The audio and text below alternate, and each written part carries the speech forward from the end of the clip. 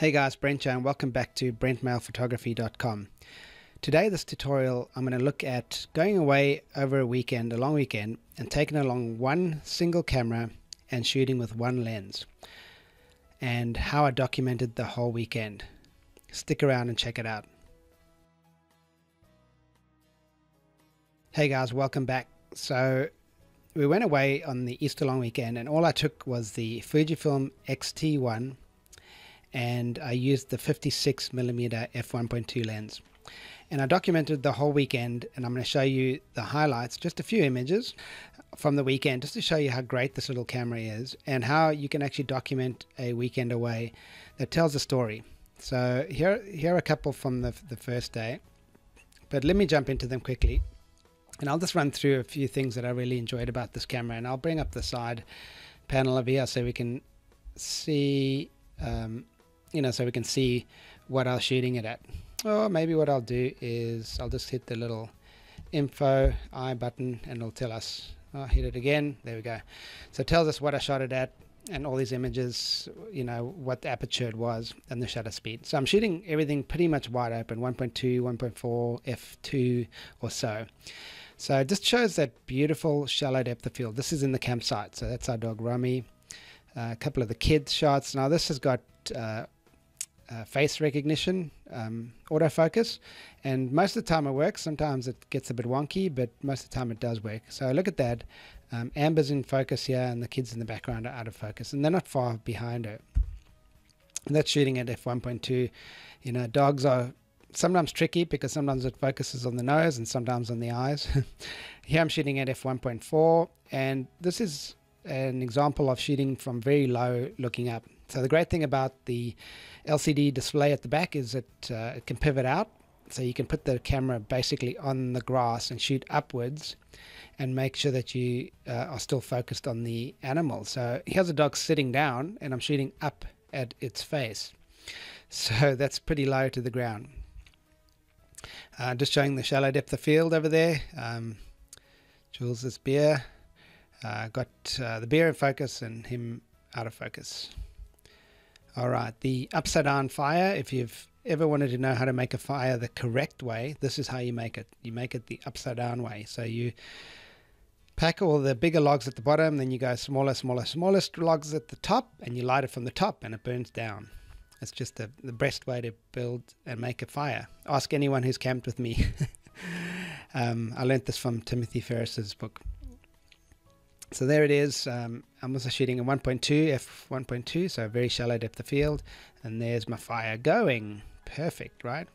And just remember, we've got a whole bunch of camp stuff all around it, so it's difficult to get a clean background. But you notice I did manage to get a clean background on a few of those.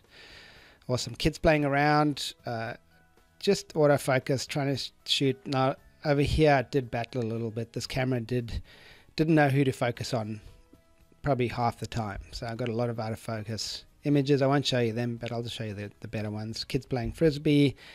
And I'm quite reasonably far away, so because it's a fixed focal length lens, I, I've got to zoom in with my legs. I've got to walk closer or walk away. There's no zooming with this lens. Uh, just shows that sh beautiful shallow depth of field. Uh, my son Wesley.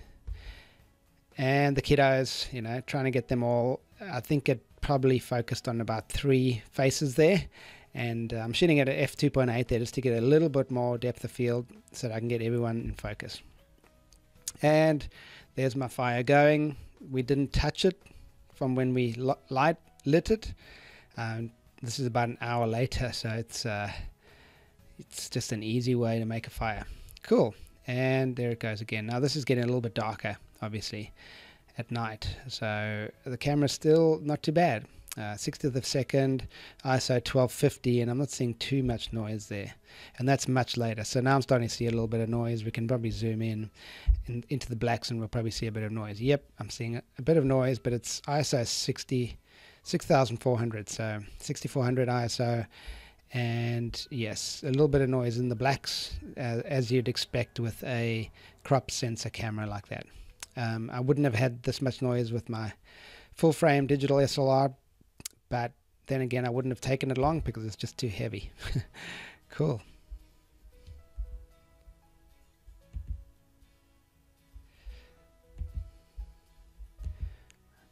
All right, let's go to day two. So uh, morning again.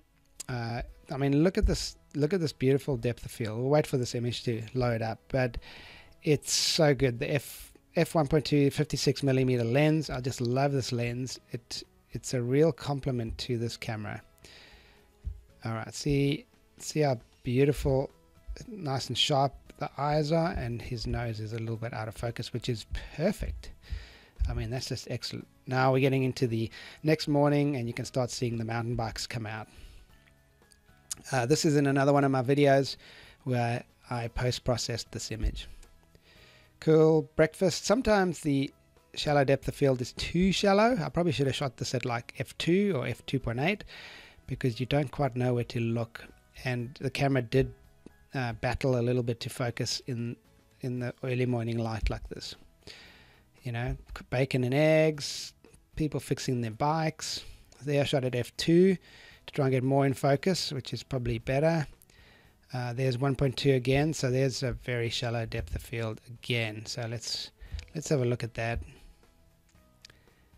Once the image pulls up here. There we go. So yeah, very shallow depth of field on these images. Cool.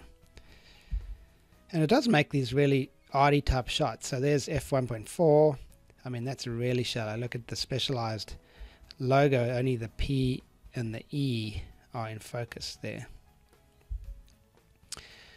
Jack's just got the edge of her glasses there, which is shows the shallow depth of them. That's f1.4, so it's not even the widest that it goes, but her glasses are in focus and her mouth is out of focus. I love that. Harlan, part of his chin is in focus, the rest out of focus. That's cool. And then just some close ups. I love doing this because, you know, whenever you're telling a story, you want to focus on things that people don't normally see when they're out there. They won't remember things like this. So, this is what makes this camera and your photography skills and you and thinking thinking of yourself as a artist and not just a photographer or a documenter this is how you document things you know getting the close-ups and, and showing close-up images really adds to the story and that's it for day two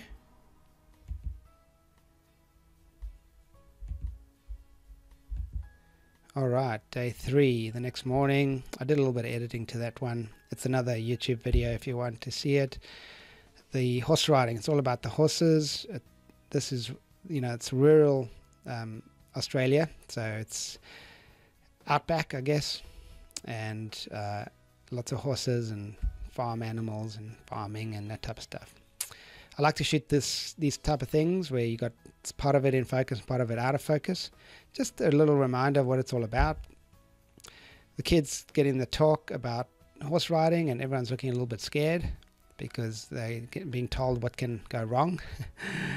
this is pretty cool. You know, I don't know if you've heard in Australia the Driza-Bone brand. It's uh, it's pretty cool, and I, I noticed these. Uh, jackets hanging up there, so I wanted to photograph them. And I just wanted the Driza-Bone in focus and everything else out of focus. Now the jackets are really dirty, but they've been used. It's a real farm, real kind of, you know, horse cattle station, Australia type images. My son just catching the edge of him as he's uh, talking to his friends. The guy teaching them how to ride the horse, a real outback Aussie you know, man from Snowy River type dude. My daughter looking very scared about to get on the horse. And that's it, guys. So that's the those are the images that I've taken from this weekend. What do you guys think? Did I document the weekend well enough?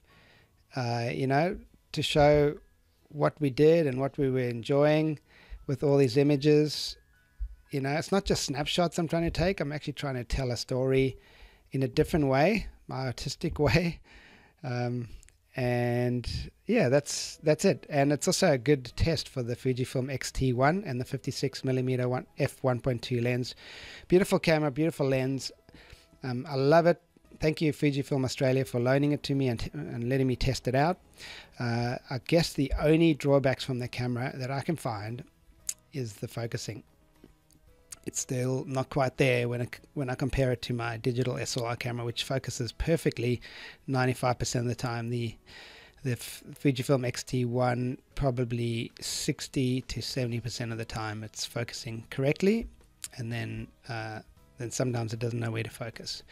That's it, guys. What do you think of this uh, blog post? Please leave me comments below. Um, let me know what you like and what you don't like. If you want to hear more blog posts like this or videos like this where I review cameras and I show you how I capture a weekend or a story.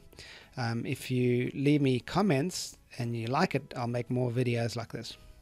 Awesome, guys. Make sure you go to my website to check out these images. I'll have them all there as larger images. Go to brentmailphotography.com to check them out. This is Brent. Have an awesome day.